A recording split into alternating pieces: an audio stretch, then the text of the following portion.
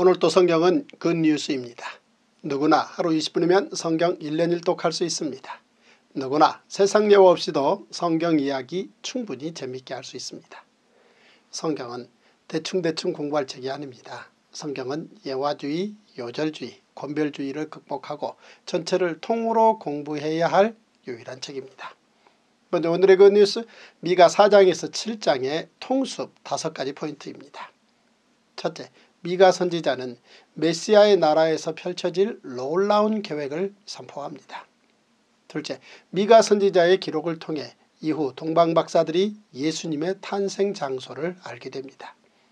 셋째, 메시아는 전쟁과 우상 숭배에 관한 것들을 제거하심으로 온 세상을 정결케 하실 것입니다. 넷째, 미가 선지자는 남유다 백성들의 불의를 구체적으로 지적합니다. 다섯째, 미가 선지자는 주와 같은 신이 어디 있으리까라며 하나님을 찬양합니다. 성경은 소리내어 읽을 만한 유일한 책입니다. 여러분들도 저와 함께 역사순 1년 1독 통독 성경으로 오늘의 그 뉴스 미가 4장에서 7장을 함께 소리내어 읽겠습니다. 제196일 미가 4장 끝날에 이르러는 여호와의 전의 산이 산들의 꼭대기에 굳게 서며 작은 산들 위에 뛰어나고 민족들이 그리로 몰려갈 것이라. 곧 많은 이방 사람들이 가며 이르기를 오라 우리가 여호와의 산에 올라가서 야곱의 하나님의 전에 이르자. 그가 그의 도를 가지고 우리에게 가르치실 것이니라. 우리가 그의 길로 행하리라 하리니 이는 율법이 시온에서부터 나올 것이요 여호와의 말씀이 예루살렘에서부터 나올 것입니다. 그가 많은 민족들 사이에 이를 심판하시며 먼 곳 강한 이방 사람을 판결하시리니 우리가 그 칼을 쳐서 보습을 만들고 창을 쳐서 낫을 만들 것이며 이 나라와 저 나라가 다시는 칼을 들고 서로 치지 아니하며 다시는 전쟁을 연습하지 아니하고 각 사람이 자기 포도나무 아래와 자기 무화과나무 아래에 앉을 것이라. 그들을 두렵게 할 자가 없으리니 이는 만군의 여호와의 입이 이같이 말씀하셨습니다. 만민이 각각 자기의 신의 이름을 의지하여 행하되 오직 우리는 우리 하나님 여호와의 이름을 의지하여 영원히 행하리로다. 여호와께서 말씀하시되 그날에는 내가 저는 자를 모으며 쫓겨난 자와 내가 환란받게 한 자를 모아 발을 저는 자는 남은 백성이 되게 하며 멀리 쫓겨났던 자들이 강한 나라가 되게 하고 나 여호와가 시온산에서 이제부터 영원까지 그들을 다스리리라 하셨나니 너 양떼의 망대요 딸 시온의 산이여 이전 걷는 곧딸 예루살렘의 나라가 내게로 돌아오리라. 이제 내가 어찌하여 부르짖느냐? 너희 중에 왕이 없어졌고 내 모사가 죽었으므로 내가 해산하는 여인처럼 고통함이냐 딸 시온이여 해산하는 여인처럼 힘들여 나을지어다. 이제 내가 성읍에서 나가서 들에 거주하며 또 바벨론까지 이르러 거기서 구원을 얻으리니 여호와께서 거기서 너를 내 원수들의 손에서 속량하여 내시리라. 이제 많은 이방 사람들이 모여서 너를 치며 이르기를 시온이 더럽게 되며 그것을 우리 눈으로 바라보기를 원하노라 하거니와 그들의 여호와의 뜻을 알지 못하며 그의 계획을 깨닫지 못한 것이라. 여호와께서 곡식단을 타작마당에 모음같이 그들을 모으셨나니 딸 시온이여 일어나서 칠지어다. 내가 내 뿔을 무쇠 같게 하며 내 굽을 녹 같게 하리니 내가 여러 백성을 쳐서 깨뜨릴 것이라. 내가 그들의 탈취물을 구별하여 여호와께 드리며 그들의 재물을 온 땅에 죽게 돌리리라. 미가 5장 딸 군대여 너는 때를 모을지어다. 그들이 우리를 애워쌌으니 막대기로 이스라엘 재판자의 뺨을 치리로다. 베들렘 에브라다야 너는 유다 족속 중에 작을지라도 이스라엘을 다스릴 자가 내게서 내게로 나올 것이라. 그의 근본은 상고에 영원에 있느니라. 그러므로 여인이 해산하기까지 그들을 붙여 두시겠고 그 후에는 그의 형제 가운데 남은 자가 이스라엘 자손에게로 돌아오리니 그가 여호와의 능력과 그의 하나님 여호와의 이름의 위엄을 의지하고 서서 목축하니 그들이 거주할 것이라. 이제 그가 창대하여 땅끝까지 미치리라. 이 사람은 평강이 될 것이라. 앗수르 사람이 우리 땅에 들어와서 우리 궁들을 밟을 때에는 우리가 일곱 목자와 여덟 군왕을 일으켜 그를 치리니 그들이 칼로 앗수르 땅을 황폐하게 하며 리모노 땅 어귀를 황폐하게 하리라. 앗수르 사람이 우리 땅에 들어와서 우리 지경을 밟을 때에는 그가 우리를 그에게서 건져내리라. 야곱의 남은 자는 많은 백성 가운데 있으리니 그들은 여호와께로부터 내리는 이슬 같고 풀 위에 내리는 단비 같아서 사람을 기다리지 아니하며 인생을 기다리지 아니할 것이며 야곱의 남은 자는 여러 나라 가운데와 많은 백성 가운데 있으리니 그들은 수풀의 짐승들 중에 사자 같고 양떼 중에 젊은 사자 같아서 만일 그가 지나간 즉 밟고 찢으리니 능히 구원할 자가 없을 것이라. 내 손이 내 대적들 위에 들려서 내 모든 원수를 진멸하기를 바라노라.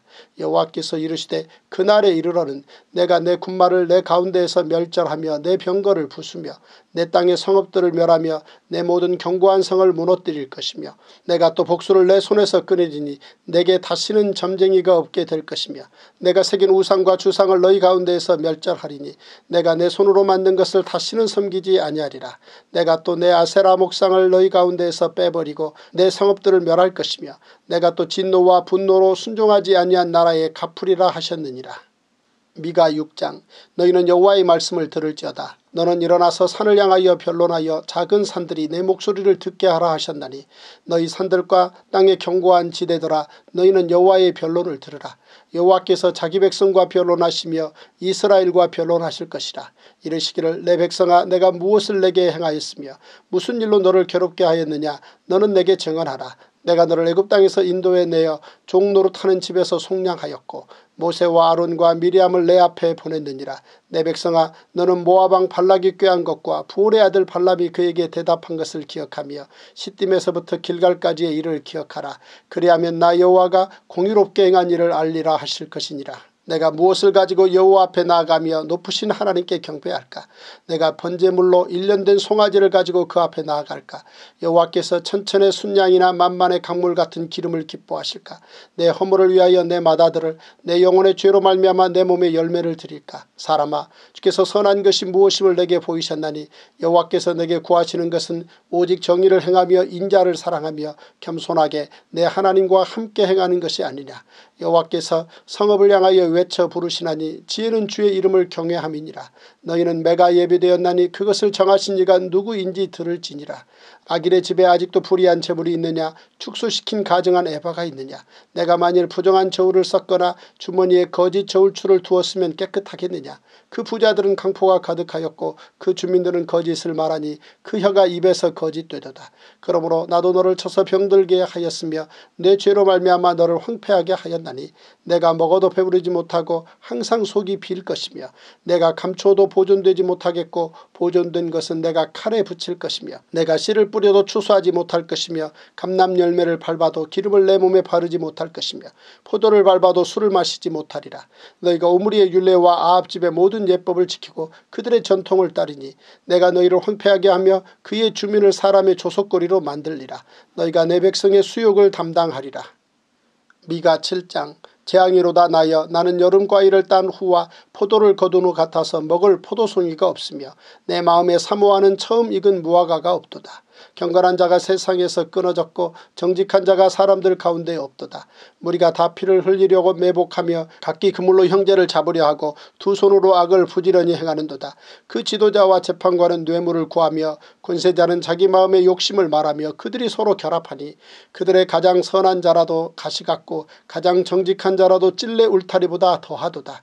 그들의 파수꾼들의 날 곧 그들 가운데 형벌의 날이 임하였으니 이제는 그들이 요란하리로다. 너희는 이웃을 믿지 말며 친구를 의지하지 말며 내 품에 누운 여인에게라도 내 입의 문을 지킬지어다. 아들이 아버지를 멸시하며 딸이 어머니를 대적하며 며느리가 시어머니를 대적하리니 사람의 원수가 곧 자기의 집안 사람이리로다. 오직 나는 여호와를 우러러보며 나를 구원하시는 하나님을 바라보나니 나의 하나님이 나에게 귀를 기울이시리로다. 나의 대적이여 나로 말미암아 기뻐하지 말지어다. 나는 엎드러질지라도 일어날 것이요 어두운 데 앉을지라도 여호와께서 나의 빛이 되실 것이미로다. 내가 여호와께 범죄하였으니 그의 진노를 당하려니와 마침내 주께서 나를 위하여 논쟁하시고 심판하시며 주께서 나를 인도하사 광명에 이르게 하시리니 내가 그의 공의를 보리로다. 나의 대적이 이것을 보고 부끄러워하리니 그는 전에 내게 말하기를 내 하나님 여호와가 어디 있느냐 하던 자라. 그가 거리에 진흙같이 밟히리니 그것을 내가 보리로다. 내 성벽을 건축하는 날 곧 그날에는 지경이 넓혀질 것이라. 그날에는 아수르에서 애굽 성읍들에까지 애굽에서 강까지 이 바다에서 저 바다까지 이 산에서 저 산까지의 사람들이 내게로 돌아올 것이나 그 땅은 그 주민의 행위의 열매로 말미암아 황폐하리로다. 원하건대 주는 주의 지팡이로 주의 백성 곧 갈멜 속 살림에 홀로 거주하는 주의 기업의 양떼를 먹이시되 그들을 옛날같이 바산과 길라드에서 먹이시옵소서 이르시되 내가 애굽 땅에서 나오던 날과 같이 내가 그들에게 이적을 보이리라 하셨느니라 이르되 여러 나라가 보고 자기의 세력을 부끄러워하여 손으로 그 입을 막을 것이요 귀는 막힐 것이며 그들이 뱀처럼 티끌을 핥으며 땅에 기는 벌레처럼 떨며 그 좁은 구멍에서 나와서 두려워하며 우리 하나님 여호와께로 돌아와서 주로 말미암아 두려워하리이다. 주와 같은 신이 어디 있으리까 주께서는 죄악과 그 기업에 남은 자의 허물을 사유하시며 인애를 기뻐하심으로 진노를 오래 품지 아니하시나이다. 다시 우리를 불쌍히 여기셔서 우리의 죄악을 발로 밟으시고 우리의 모든 죄를 깊은 바다에 던지시리이다. 주께서 옛적에 우리 조상들에게 맹세하신 대로 야곱에게 성실을 베푸시며 아브라함에게 인애를 더하시리이다. 오늘 우리는 미가 4장에서 7장을 함께 읽었습니다. 미가 선지자는 아수르 제국의 침략에 맞서 버티고 있는 남유다의 현실 가운데 하나님의 미래 계획인 메시아 탄생과 탄생 장소를 예언합니다. 베들레헴 에브라다야 너는 유다 족속 중에 작을지라도 이스라엘을 다스릴 자가 내게서 내게로 나올 것이라. 그의 근본은 상고의 영원에 있느니라. 미가 선지자의 이 기록을 통해 이후 예수님의 탄생 장소를 알게 됩니다. 이렇게 구약성경에서는 미가 선지자와 이사야 선지자가 메시아 탄생을 예언하고 있습니다. 구약성경은 예수님의 이야기 즉 사복음서의 밑그림입니다. 따라서 성경 66권은 모두 예수 그리스도 원스토리입니다. 모든 성경은 하나님의 감동으로 된 것으로 교훈과 책망과 바르게함과 의로 교육하기에 유익합니다. 성경 한 권이면 충분합니다. 그러므로 오늘 또 세상 뉴스를 넘어 good news 성경으로 행복하시고 good news 성경으로 승리하시는 멋진 하루 되십시오. wow